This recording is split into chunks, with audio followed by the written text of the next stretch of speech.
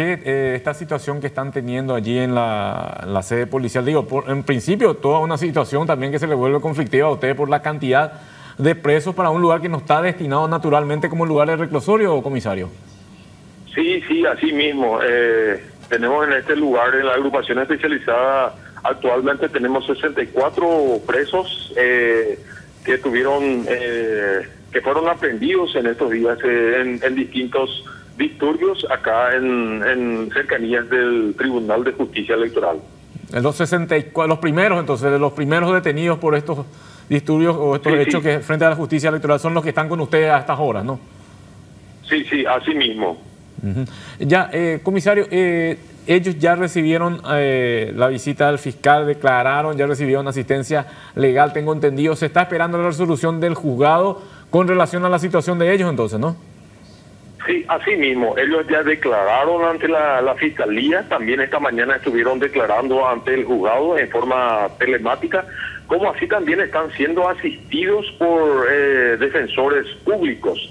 Eh, también eh, la, policía a través del Departamento de Derechos Humanos se le está asistiendo, eh, como también este es aquellas personas encargadas justamente de custodiar de que esta, de que este proceso sea totalmente conforme a derecho.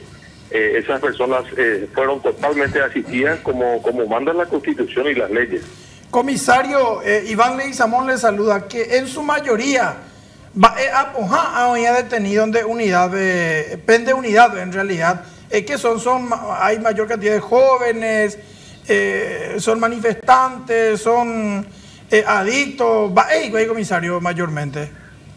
Y ellos, la mayoría de los que están aquí manifestaron ser eh, seguidores ¿verdad? de, de señor de Payo Cubas, como así también eh, algunos, algunas personas eh, manifestaron de que fueron invitados por las redes sociales, eh, muchos de ellos son fueron menores de edad, sus padres vinieron acá justamente a, a retirarle a estos menores y y estos menores, por ejemplo, sus padres alegaron que sus, los chicos salieron con destino de irse al colegio y del colegio se escaparon. Eh, se hicieron la liga con otros compañeros, con otros grupos de amigos y vinieron a caer eh, aquí supuestamente. Eh, y cuando uno está en la multitud, el que generalmente cuando cuando uno hace algo indebido, todos se siguen. O sea que ellos empezaban a tirar cascotes acá contra la policía, contra... entonces en ese momento ellos fueron aprendidos, muchos de ellos en, en distintos disturbios. Eh, son personas que eh, aparentemente también hay, eh, hay un grupo numeroso de, barras bravas de, distintos clubes que, que no tienen ninguna actividad porque generalmente son personas que, que no tienen una actividad, mm. por decir así, lícita y normal. Hay un policía, vemos, entre los detenidos, oficiales Sí, así mismo. También tenemos un oficial inspector eh, que, que fue detenido esa noche. Eh, este inspector, una vez que haya sido detenido, ahí se identificó, dijo que era personal policial. Eh, se, se, le tomaron los datos, eh, se cotejó y efectivamente, pero así como te dije, cuando estaban en, el grupo de montones haciendo disturbios y tirando cascotes y piedras contra, contra la policía, ellos fueron detenidos eh, en, su totalidad y los que estaban ahí fueron detenidos. O sea que la... estoy mencionando. Pende propio camarada, pende... Ahí bebió, comisario.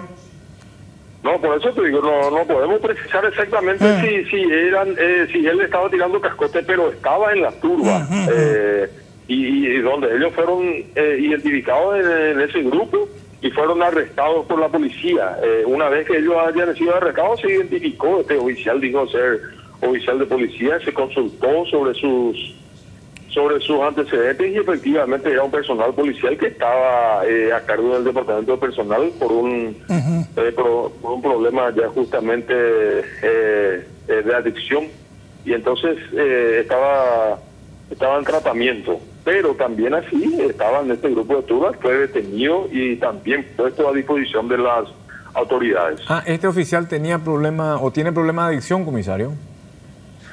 Sí, señor, esa es Ese es el dato que nosotros eh, manejamos. Estaba ya Ah. a cargo del departamento de personal eh, con ese problema y, y- y siguiendo algún tratamiento. Eh, los últimos 50 detenidos, los de esta madrugada, comisario, no fueron allí ya, fueron a otra sede policial. Sí, eh, los otros 50 fueron eh, derivados a la FOPE. Ajá. Eh, al- ellos están ahí y, y están en el mismo en el mismo proceso. Ellos fueron asistidos eh, por, por abogados eh, también. eh, están- ya, ya declararon todo ante la fiscalía. Falta que el fiscal eh, los impute y ponga a disposición del juzgado nada más. Entiendo, entiendo. Y bueno, y lo que le decía al inicio, comisario, eh, termina siendo una carga para ustedes. Digo, el tema de alimentación, el tema de alojamiento, ¿cómo están manejando todo eso ante tanta cantidad de personas? Y sí, eh, están un poco encimados. Si bien ustedes saben, la agrupación especializada este, en estos días estábamos trasladando internos eh, civiles de aquí. Eh, justamente ahora eh, vinieron esta cantidad de personas y lo tenemos en tres calabozos, más o menos de a casi 20 eh, personas cada, cada uno. Tenemos cuatro personales femeninas también que están totalmente aisladas del, del grupo de, de masculinos y están en tres, cal- en tres calabozos. Eh, si bien eh, nosotros lo que le podemos dar es un, un colchón, eh, también sus familiares le traían sus sábanas frazadas y eh, algunos alimentos, como aquellos que no tienen alimentación, eh, también nosotros le estamos proveyendo a ellos. Eh, comisario, ¿cuántas mujeres hay en el grupo, dijo? Cuatro mujeres Cuatro mujeres, ya. y Com- 60 varones.